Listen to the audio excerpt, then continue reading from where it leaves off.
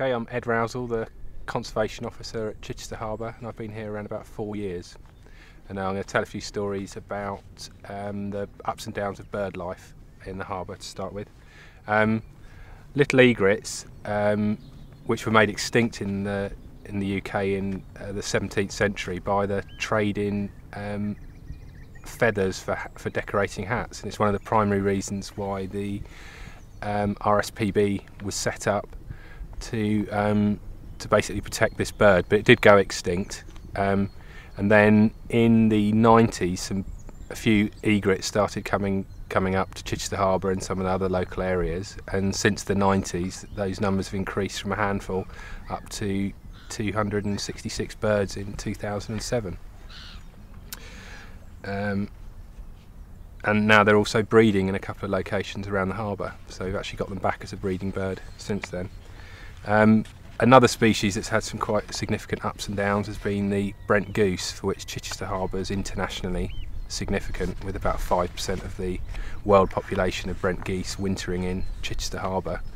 Um, they declined historically due to a loss of their food plant, um, and since we actually started recording, numbers have gone from 3,000 birds in the harbour up to a peak of um, 12,000 in um, again in 2008. Um, over that same time period, so some of the kind of downers is that um, Shelduck in 1969, when we started recording these birds, we had about three and a half thousand birds overwintering in the harbour. Um, that went down to just 450 in the year 2008. Um, and then some of the species that, that their populations have probably changed due to climate change would include Cetti's warbler, which um, which uh, quite an unmistakable song. Just the fact it's so so loud. They're actually rarely seen, but they've got this amazingly loud song. And probably due to climate change, they've um, increased around the harbour, and we've got about 18 pairs now around the harbour, which um, prior to 1980 there were there were none. So they've increased quite well, and it's hoped that these cold winters won't knock them out too much.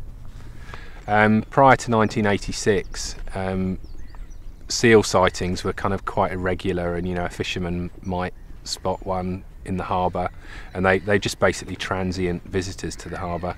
But basically, from 86, a small population has gradually built up from one or two individuals, and now it's estimated we've got between 20 and 24 seals in the harbour, and what seems to be a thriving population um, that nationally actually is declining. So, so we're doing something right here in the harbour for the seals.